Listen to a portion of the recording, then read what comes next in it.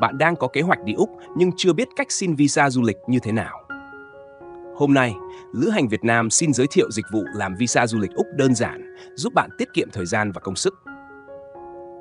Để hồ sơ xin visa được chấp thuận nhanh chóng, khách hàng hãy chuẩn bị đầy đủ các loại giấy tờ sau. 1. Hộ chiếu bản gốc thời hạn 6 tháng trở lên. 2. Hộ chiếu cũ, nếu có. 3. Hai ảnh 4 x 6 nền trắng. 4. Căn cước hoặc căn cước công dân. 5. Giấy khai sinh và giấy đồng ý cho đi du lịch của ba hoặc mẹ có xác nhận của phường xã. Nếu du khách dưới 18 tuổi, sáo, Sổ hộ khẩu. Bản gốc và bản sao công chứng để xác nhận thông tin cư trú. 7. Giấy xác nhận tình trạng hôn nhân. Hồ sơ chứng minh công việc bao gồm 1.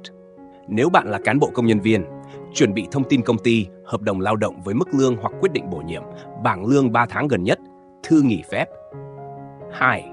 Nếu bạn là chủ doanh nghiệp, chuẩn bị bản sao giấy phép đăng ký kinh doanh, hóa đơn nộp thuế 3 tháng gần nhất, bảng thông báo thuế thu nhập cá nhân doanh nghiệp cho năm tài chính trước đó và giấy xác nhận số dư tài khoản công ty. 3. Nếu bạn là học sinh sinh viên, phải có giấy xác nhận nhà trường, đơn xin nghỉ phép. 4.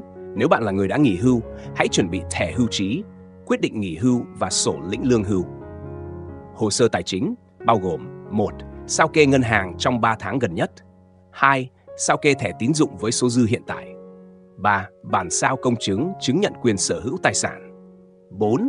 Sổ tiết kiệm có giá trị tối thiểu 200 triệu Việt Nam đồng trở lên Và cuối cùng là giấy tờ xác nhận cho chuyến đi bao gồm xác nhận đặt vé máy bay, xác nhận đặt phòng khách sạn, lịch trình cho chuyến đi.